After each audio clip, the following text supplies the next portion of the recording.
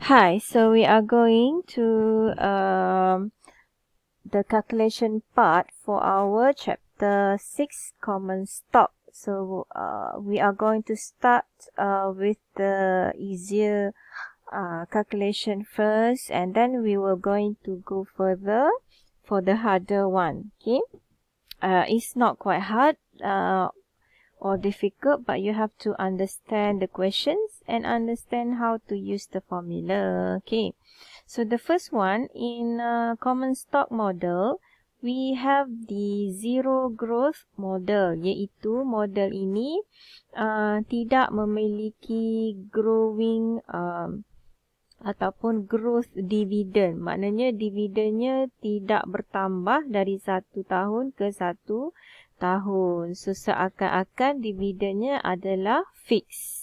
Uh, kita katakan dia mempunyai annual dividend. So dalam kita punya valuation of common stock, so uh, VP, uh, sorry VCS, uh, saya selalu uh, denominatekan dia sebagai VCS, value of common stock. So ataupun PO, okay, price of the common stock. So PO equal to annual dividend bahagi dengan what are the required rate of return.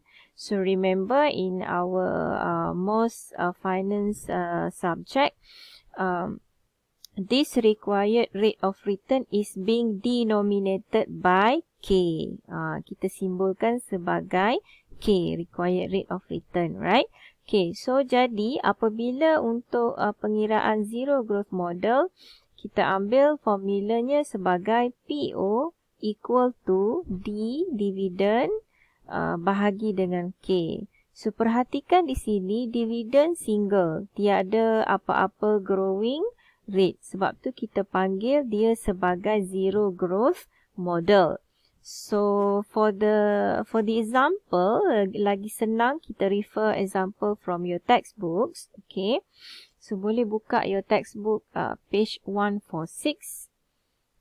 Okay, saya buat kat sini, right? And uh, this uh, textbook, okay, uh, this is the uh, questions. Uh, Danny is considering a stock rep- uh, a stock purchase. The stock pays a constant annual dividend of RM 3 ringgit per share. If Danny's required rate of return for this stock is 12%, how much should Danny be willing to pay for this stock? Jadi, uh, apabila kita baca soalan ni, dia tidak menyatakan bahawa eh, dividen yang dibayar sebanyak RM3 ni adalah dividen yang growing. Tidak sebut pun uh, if the dividend being grow dan sebagainya. So, it means that this is the zero growth model. Okay. So dia pun bagi tahu constant annual dividend of RM3 without any growing at all. Okay. So if Danny required rate of return is 12%. So required rate of return like I mentioned earlier adalah K. So this is our K. Okay. Dan this is our D, dividend RM3. Okay. So how much should Danny be willing to pay for this stock? Jadi berapa Danny uh, sanggup bayar untuk stok tersebut? So kita guna formula yang simple ini tadi iaitu price equal to D over K. So PO referring to price of the common stock. Okay. Uh, D adalah dividend tadi dan bahagi dengan K required rate of return. Simple sahaja. So PO akan equal to D adalah RM3 tadi, RM3 share kita bahagi dengan uh, 12%. So kita tukar dalam bentuk uh, uh, perpuluhan which is 0.122. So if you divide 3 bahagi dengan 0.12 so kita akan dapat uh, kita punya price for this stock yang Danny uh, akan purchase ni uh, bernilai sebanyak RM25. So this is the price that Danny willing to pay. If dia punya target rate of return uh, adalah sebanyak 12%. So kalau K dia target 12% dengan uh, dividen yang dibayar RM3 setahun.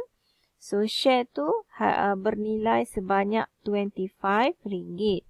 So let's say I'll give you uh, katakanlah current market price for this share sekarang adalah uh, RM28. Okay, sekarang current market price untuk share ini adalah RM28. Adakah you ataupun Danny willing to pay or willing to buy for this share? So rasa-rasa nak beli ke tak? Yes, so the answer is no lah. Sebab kalau dengan target kita sebanyak 12% dan stok tu sedang bayar RM3 uh, dividend per share.